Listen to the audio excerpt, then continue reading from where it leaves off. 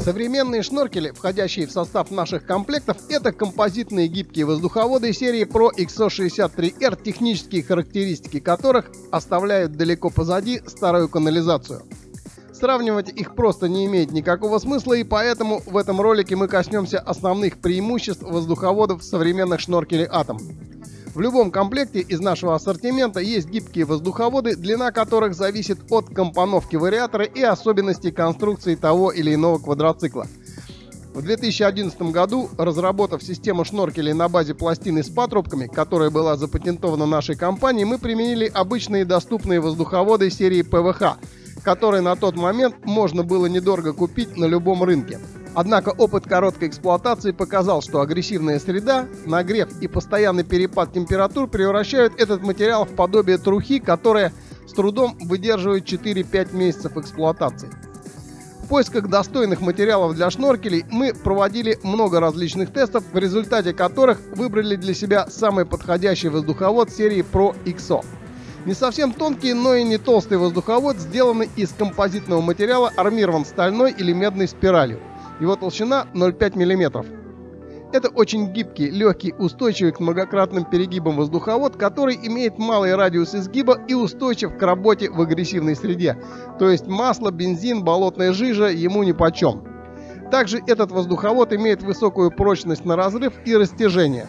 Он морозоустойчив и работает в диапазоне температур от минус 40 до плюс 120 градусов. От слов перейдем к практике. Продолжая тестировать прочные воздуховоды, мы наметили несколько тестов, которые были обусловлены тем, что на рынке в 2020 году появилась новая модель, называется она Pro XO65TR.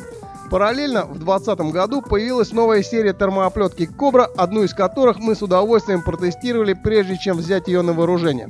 Первым делом решили провести традиционный жесткий тест на прочность четырехгранным напильником. Сурово, но такова правда жизни – на бездорожье могут быть разные ситуации. Обычно мы пытаемся пробить воздуховоды каким-либо инструментом.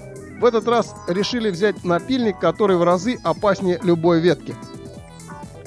Видно, что проколоть воздуховоды в принципе можно, но для этого надо приложить серьезные усилия. Из тестируемых моделей воздуховод Pro XO65TR действительно оказался лучше других моделей и в этом, видимо, ему помогает армирование более упругой спиралью. Воздуховод на ощупь более пружинистый и скорее всего это позволяет ему вытягиваться при сильных нагрузках или ударах. Для защиты воздуховодов мы рекомендуем использовать термооплетку Кобра. В новом сезоне будем испытывать новую модель диаметром 95 мм, которую мы тоже решили протестировать. В нашем новом тесте мы будем использовать мачете. Как видно, несколько мощных ударов не повредили ни один из тестируемых образцов, а вот распилить воздуховоды удалось без исключения. После защиты воздуховода термооплеткой Кобра распилить воздуховод оказалось сложнее, но все же возможно. Чтобы добраться до воздуховода, надо несколько раз пройтись по поверхности Кобры и только тогда покажется сам воздуховод.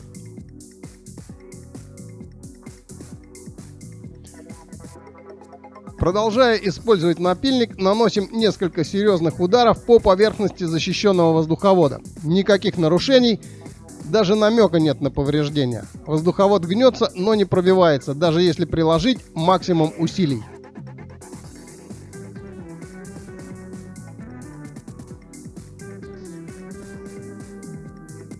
Следующий тест на станке Гриндер. Кольцевая лента, двигающаяся с большой скоростью, будет имитировать процесс перетирания. Как видно, с первых секунд мы наблюдаем искрение. Это значит, что лента мгновенно достала до спирали, а значит имеется нарушение оболочки. В случае с термооплеткой Кобра время, когда лента заденет спираль, значительно увеличилось, а если не усердствовать, то термооплетка хорошо защищает воздуховод в течение длительного времени.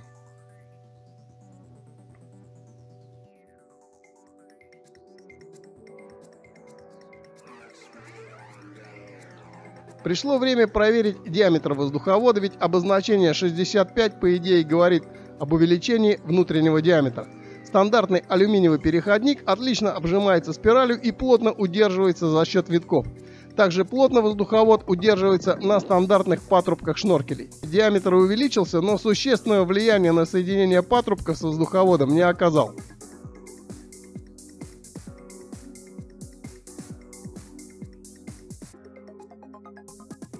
В итоге хочется сказать, что жесткие тесты, которые мы провели, лишний раз показывают, что на бездорожье защита воздуховодов с помощью термооплетки Кобра – вынужденный вариант. Несмотря на то, что воздуховоды сами по себе прочны и эластичны, защищать их надо, дабы забыть про проблемы вдалеке от дома.